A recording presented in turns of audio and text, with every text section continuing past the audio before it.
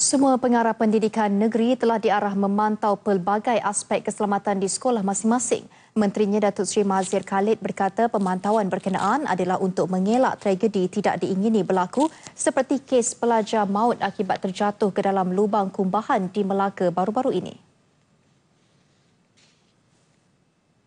Arahan itu dikeluarkan kepada pejabat pendidikan negeri kerana soal keselamatan terletak di bawah tanggungjawab pengarah pendidikan negeri.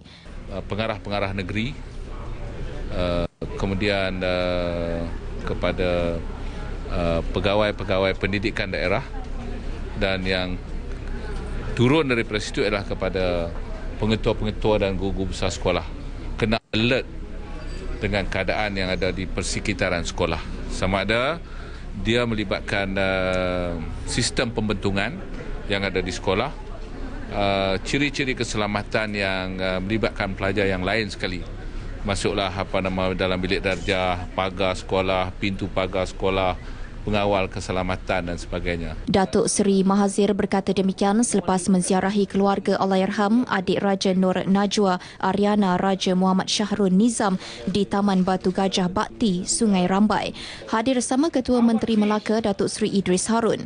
Nur Najwa meninggal dunia selepas terjatuh ke dalam lubang tangki kumbahan di Sekolah Rendah Agama Parit Penghulu Benteng bulan lalu ketika sedang bermain bersama rakannya ketika waktu rehat. Datuk Seri Mahazir yang mengadakan mengadakan lawatan sehari ke Melaka berkata beliau sudah meminta Indah Water Consortium IWK untuk melihat semula kesesuaian sistem pembentungan di semua sekolah seluruh negara. Terdahulu beliau mengadakan walkabout ke Sekolah Rendah Kebangsaan Jalan Datuk Palembang, Bukit Baru, Melaka. Beliau turut merasmikan mini perpustakaan sekolah berkenaan yang menggunakan sebuah bas.